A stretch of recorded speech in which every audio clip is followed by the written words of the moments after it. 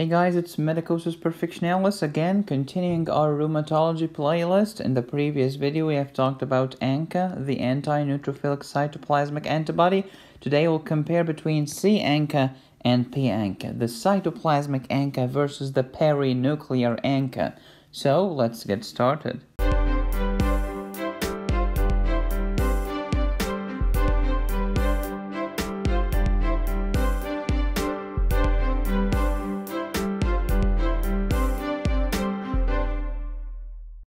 Case you were living under a rock, I have had all of these videos in my rheumatology playlist. That's why you need to subscribe and save this playlist. One of the most important rules in rheumatology is that no single blood test whatsoever can confirm the diagnosis. Just because you have positive whatever doesn't mean that you have this specific disease. It doesn't work like this. Rheumatology is all about pattern recognition. The lab results have to fit with the history and the physical exam. A good physician always asks himself or herself, does the lab test correlate with the clinical picture?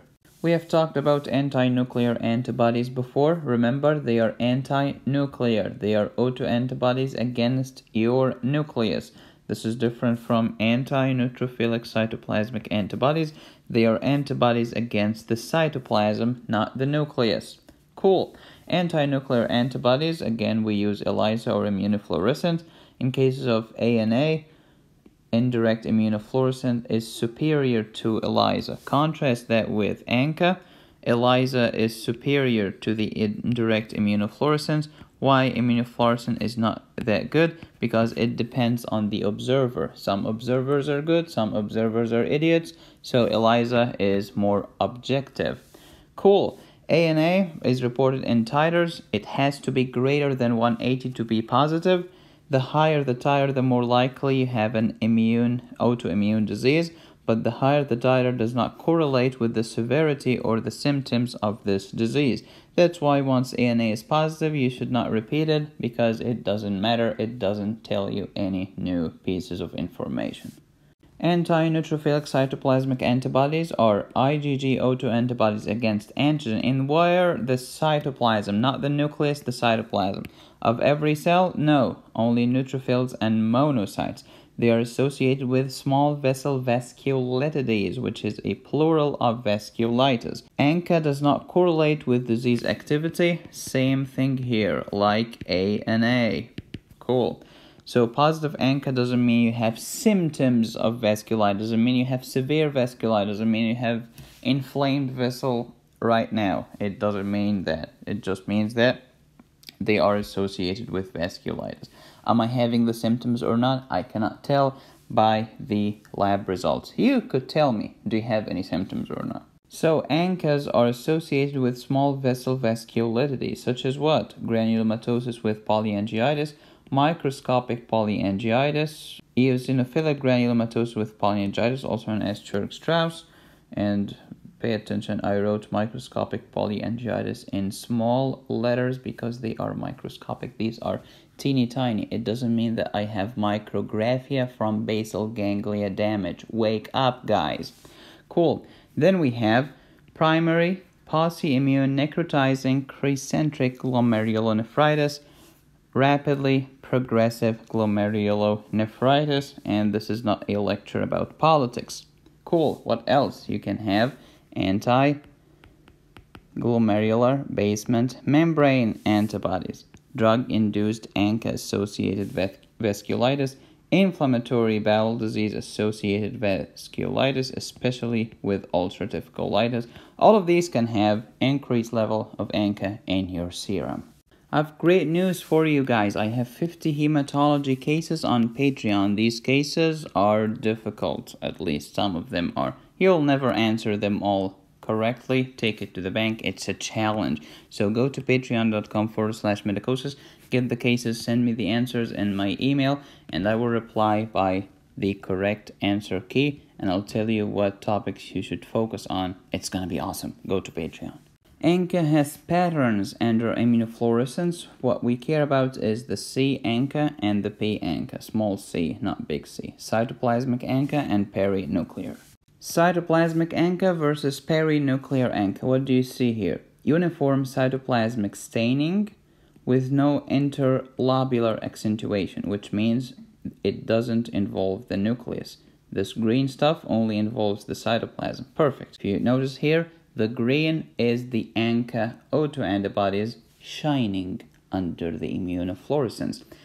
You can see the contour of the white blood cell here. And by the way, it's a monocyte, not a neutrophil. Look at the nucleus, you idiot. You see the contour of the nucleus, the great horseshoe shape of this monocyte nucleus. Cool, the cytoplasm is glowing, the nucleus is dark, the demarcation is very clear. Very nice. P ANCA, on the other hand, you have perinuclear staining. The perinucleus is part of the cytoplasm, of course, with nuclear extension, with interlobular accentuation.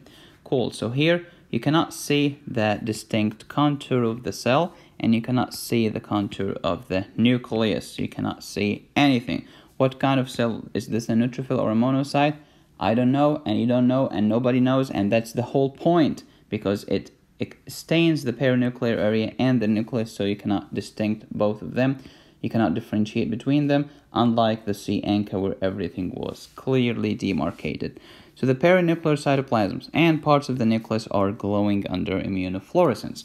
Here, only the nucleus is dark as sin, and then the cytoplasm is glowing. This is very nice. The whole point is that here everything is clear and distinctly demarcated here everything is mixed together. You cannot distinguish between them. That's how we differentiate between C ANCA and P ANCA under the immunofluorescent microscope. Hello.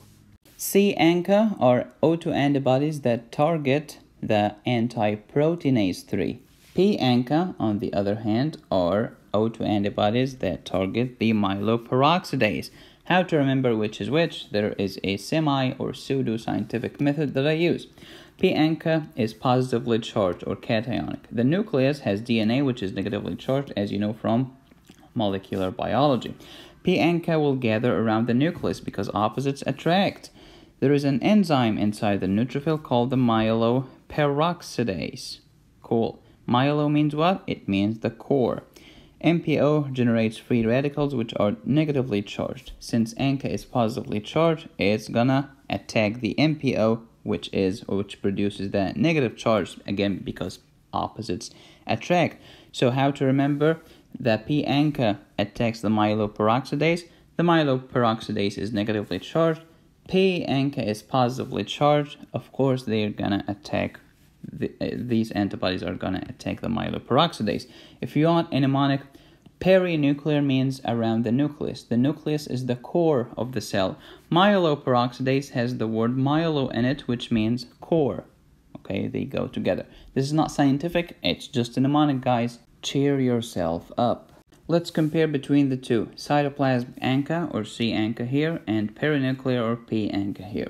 What do you see? Uniform cytoplasmic staining with no interlobular accentuation, which means no nuclear extension. P ANCA, on the other hand, you have perinuclear staining with nuclear extension. The cytoplasm is glowing, the nucleus is not glowing. In P ANCA, the perinuclear cytoplasm and parts of the nucleus are glowing. C ANCA targets proteinase 3, mnemonic C ANCA, the third letter attacks the third number. P ANCA targets the myeloperoxidase, the core targets the core. Medicine is fun once you know what the flip you're talking about. Some synonyms. C ANCA is the same as cytoplasmic ANCA. It's the exact same thing as anti-proteinase 3 ANCA, which is a 2,9-kDa neutral serine protease found in azurophilic granules in the neutrophilic cytoplasm. Again, those azurophilic granules are where? In the cytoplasm of what? Of the neutrophil. C ANCA is the same as PR3 ANCA, aka anti-proteinase 3C ANCA. Put them all in one sentence and PR here stands for not public relations but proteinase. P ANCA, perinuclear ANCA, is the same thing as anti-myeloperoxidase. By the way, it doesn't have to target the myeloperoxidase, it can target the elastase, cathepsin G, lysozyme, and lactoferrin. MPO ANCA and P ANCA is the same thing as anti-myeloperoxidase P ANCA. How to test for the anti-neutrophilic cytoplasmic antibodies. We have the ELISA method and the immunofluorescence method. Which one is superior? The ELISA. Why? Because it's more objective. It detects the antibodies in the plasma. Either you have the antibodies or you don't. Okay? It detects the those antigens. So it has a higher positive predictive value. What the flip is that? It's the probability of you having the disease if the test result is positive. Which means, let's say that you go to the doctor, he runs a test, the test is positive.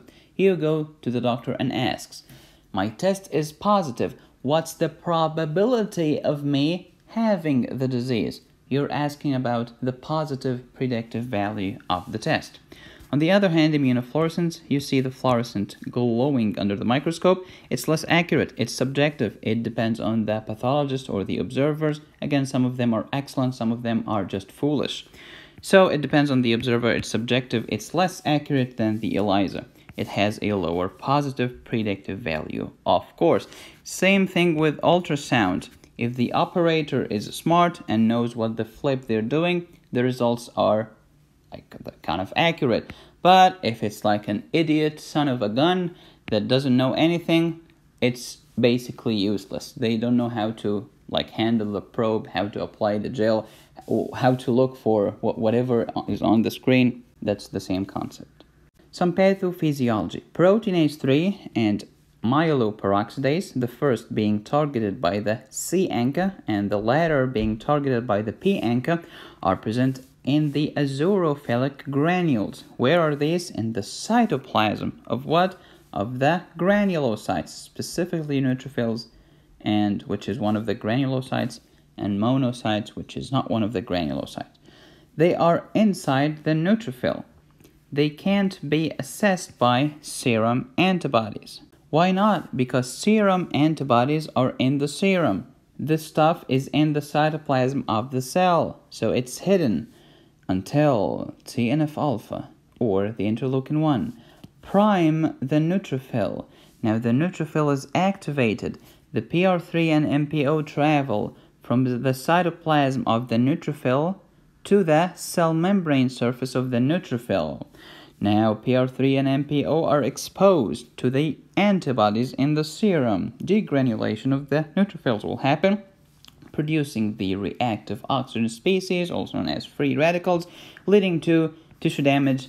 In our case, it's vasculitis. See, it's easy. So, under normal conditions, the ANCA antibodies are in the cytoplasm. The PR3 or MPO are in the azurophilic granules inside the neutrophils. Not exposed to the ANCA, nothing will happen until TNF alpha and interleukin 1 come into play, specifically interleukin 1 beta.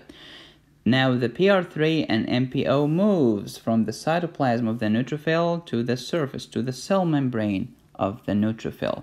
Now they can get in contact with the anti-neutrophilic cytoplasmic antibodies. This is called priming of the neutrophil. Now access is granted.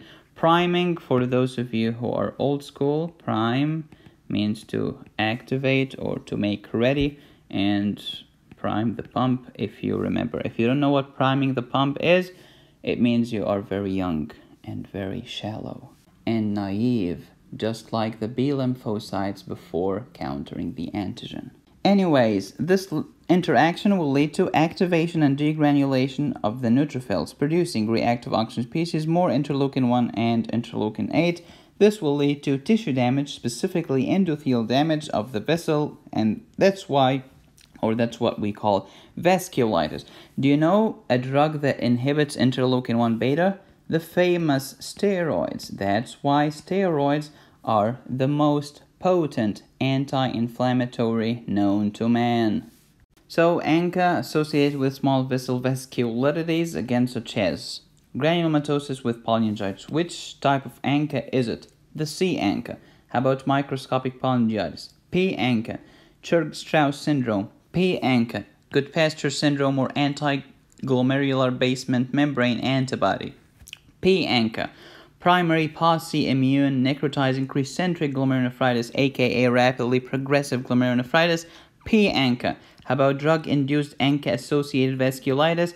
P. ANCA. How about ulcerative colitis-associated vasculitis? P. ANCA. All of them are P. ANCA except granulomatosis with polyangiitis. So easy. C. ANCA versus P. ANCA. C. ANCA is also known as cytoplasmic ANCA antiproteinase 3 ANCA PR3 ANCA. Then P. ANCA is known as perinuclear ANCA anti-myeloperoxidase ANCA MPO ANCA. Cool. C. ANCA, example, granulomatosis with polyangiitis.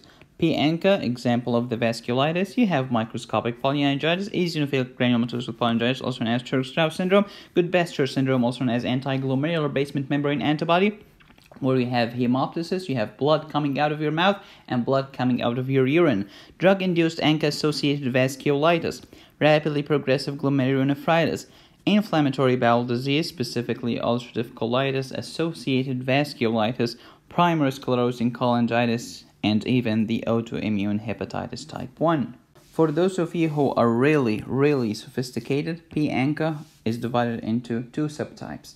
The anti MPO positive and the anti MPO negative because I've told you it doesn't have to be the myeloperoxidase it could be anti like elastase or cathepsin or whatever.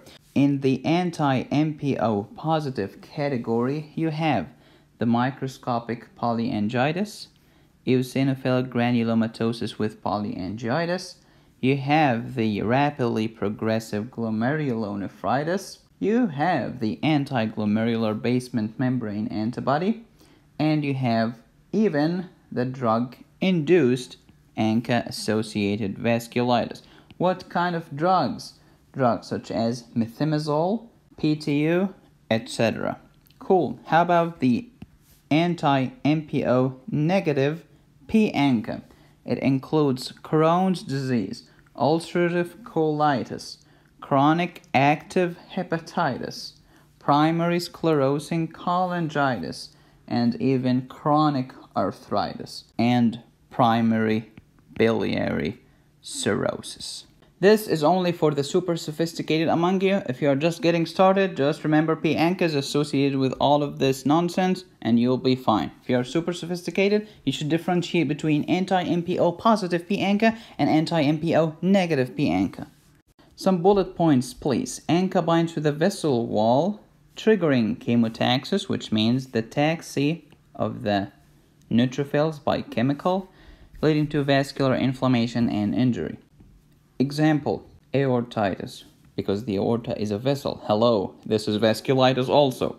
Don't confuse eosinophilic granulomatosis with polyangiitis with the hypereosinophilic syndrome, because hypereosinophilic syndrome has neither high IgE nor ANCA autoantibodies in the plasma. Those three together are called ANCA small vessel vasculitis. What are these three? granulomatosis with polyangiitis, microscopic polyangiitis, and Churg-Strauss. Rapidly progressive glomerulonephritis plus ANCA small vessel vasculitis equals pulmonary renal syndrome. It doesn't have to be that. It could be rapidly progressive glomerulonephritis plus Goodpasture syndrome. Also, we call this pulmonary renal syndrome. Not to be confused with hepatorenal or hepatopulmonary syndromes, which I've talked about in previous video. These are the pulmonary renal syndrome.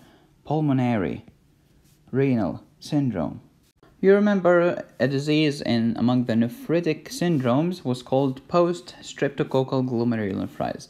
In the first seven days of symptoms of this disease, some patients will have low complement level, which is called by the sophisticated people hypocomplementemia. Oh my goodness. Positive rheumatoid factor cryoglobulins, and even P-ANCA, as well as immune complexes. I've told you, everything in the world is P-ANCA except granulomatosis with polyangiitis, which is C-ANCA. I really need your support. Go to patreon.com forward slash medicosis, support the channel, get the notes, get the 50 hematology cases, and make grandma happy. Thank you guys for watching. I'll see you in the next video. As always, be safe, stay happy, and study hard. This is Medicosis Perfectionalis.